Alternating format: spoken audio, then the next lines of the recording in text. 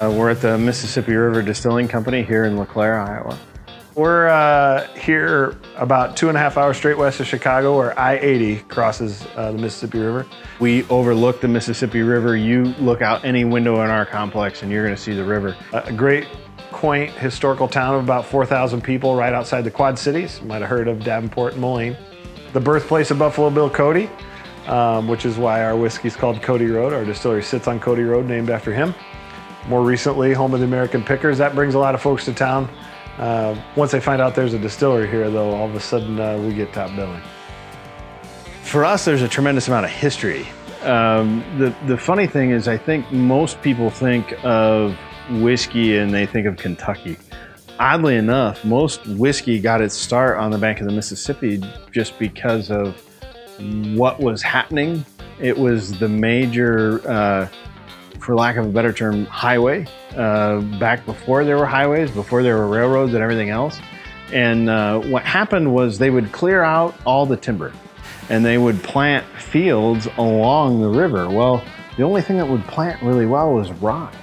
And so rye whiskey was incredibly popular along the banks of the Mississippi River. So it's fitting that we're here uh, making rye and, and our farmers are just a stone's throw away uh, basically growing rye right on the bank of the Mississippi River. So that idea and that concept, um, they've been making whiskey along the banks of this river a heck of a lot longer than uh, than Kentucky. We kind of feel like this marriage of land and water that happens here is also what we do, in that everything that we make is crafted from grain sourced from farmers within 25 miles of the distillery. So when we bring together that grain, the earth and the water in our process of mashing and distilling, um, it's somewhat representative of our region here. Most whiskeys go into the barrel at 125, um, which is industry standard. Um, trying to get the most out of their barrels and trying to turn the most whiskey that they can. Uh, our process goes back to something that was uh, happening prior to Prohibition, where uh, you took a little more care and a little more time and tried to get a little more sugar out of the oak.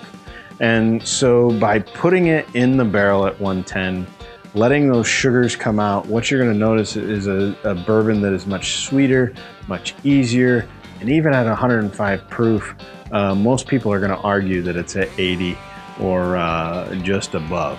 Um, it's tremendously smooth. It goes down easy, doesn't give you that bite but has tremendous flavor on the tongue. Those vanillas and caramels that you come to know from, from a, a good whiskey will be right there on the tongue and just finish easy.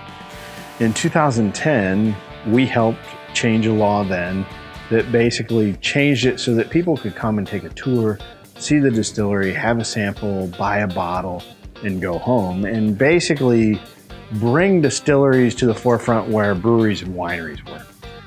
And so my brother and I thought, uh, hey, let's give it a shot. We, we put together a business plan, and uh, about eight years later, here we are um, with a heck of a lot more barrels than I ever imagined we'd have.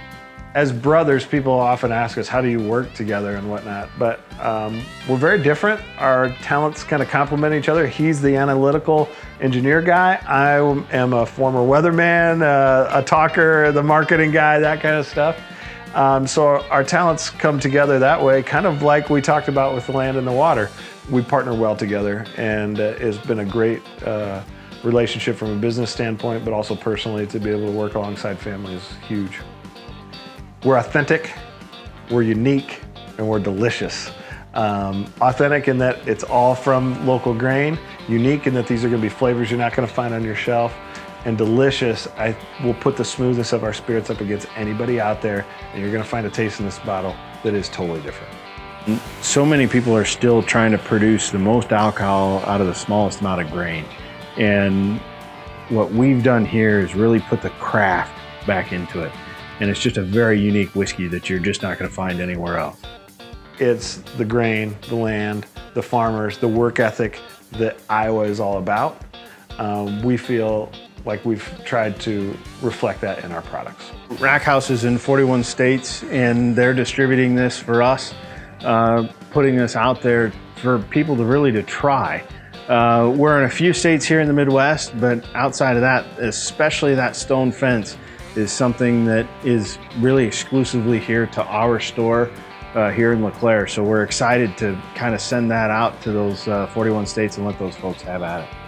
Everybody's got to go to Rack House Whiskey Club and try Mississippi River Distilling Company. You're going to love it.